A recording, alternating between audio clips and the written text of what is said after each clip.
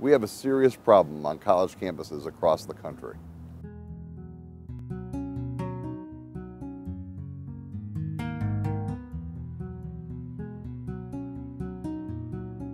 We have to do better, and we have to start right now.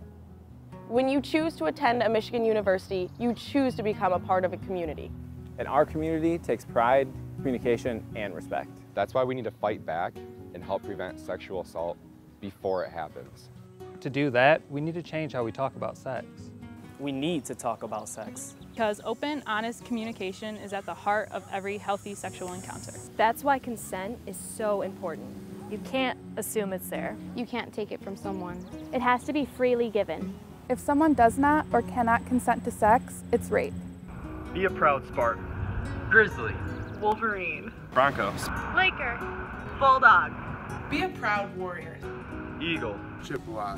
Be a proud Laker. Be a proud Cardinal. Be a proud Husky. Be a proud Wildcat. Speak up and support affirmative consent because anything less than a yes is a no.